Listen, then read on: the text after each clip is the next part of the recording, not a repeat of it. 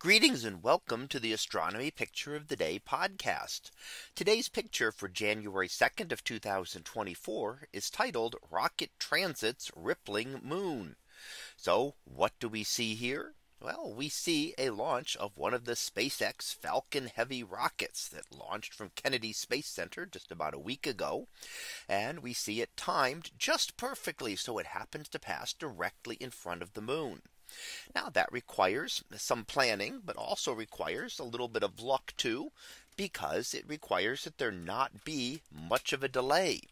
The moon, if you watch the moon rise and set over the course of the day, we see that it moves relatively fast through the sky. And because you're trying to line things up just right, had there been a delay in the launch of the rocket, it's quite possible that it would have missed passing in front of the moon and would have gone off to one side or the other of it.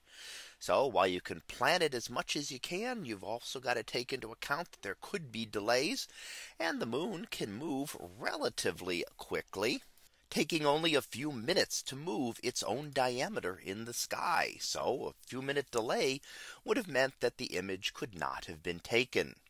Now what you notice especially at the bottom of the moon here is that the moon is very ragged in shape. Now we often see this when the moon is low in the sky as because we're looking through a lot of atmosphere and turbulence in the atmosphere will distort the limb of the moon. Now why are we seeing that here? We're looking up a little bit higher in the sky now. But it is because of the rocket itself. So how can a rocket affect the moon? Well, honestly, it cannot. So the moon, the rocket itself cannot do anything to the moon. However, it does heat up the atmosphere in front of the moon. And that causes extra turbulence there. And you can see that is all that lower part of the moon right by the rocket exhaust as the rocket launches up into space where we see all of this main part of the distortion. The farther you get away from that, the more ordinary the limb of the moon appears. So again, this like when we look close to the horizon with the moon, this is an atmospheric effect that is caused by distortions within our atmosphere that cause the bottom of the moon to have that little rippled appearance that we don't normally see.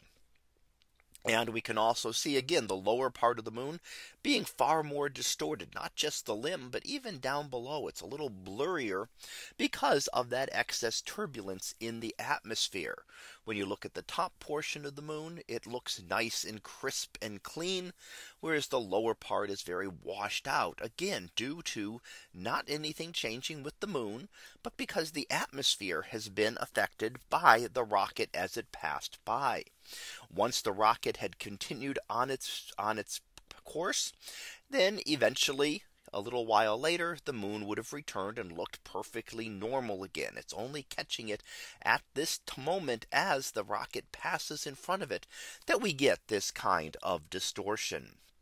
So that was our picture of the day for January 2nd of 2024. It was titled Rocket Transits Rippling Moon. We'll be back again tomorrow for the next picture previewed to be Red Sky Arc. So we'll see what that is about tomorrow. And until then, have a great day, everyone. And I will see you in class.